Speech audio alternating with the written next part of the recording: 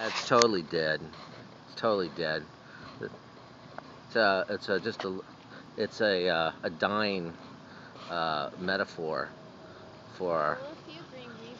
Yeah, there's a few green leaves, but basically, you know, this is what ha- this is what uh, everybody's too busy, like you know, too busy, uh, like uh, planning for their next show, I suppose. This poor tree just fucking falls down.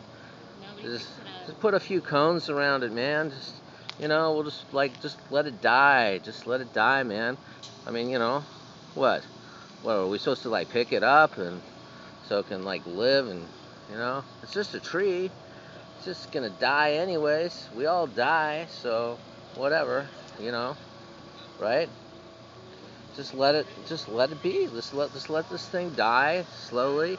It's a, it's like, it's actually performance art, is what it is.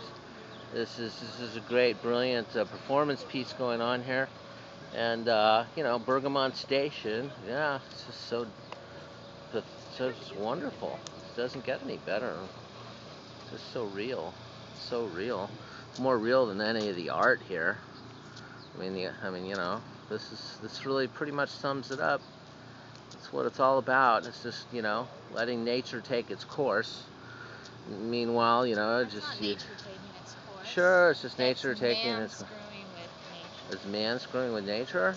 Yeah. This is the First of all, it, they What do you planted mean? They this planted this tree, tree in a teeny little pot. in a teeny little pot, but it, it you know. and then So they, they just fell, let it go. and It- then they just they oh let it go, let it go, because there are people over there, on they're they're too they're they're out there. Look at the beautiful sunrise, and they got a lot of nice art openings going on. People uh, drinking the red cheap red wine and whatever, and just let the tree just die, man. It's gonna die. Let it go. All right, that's it.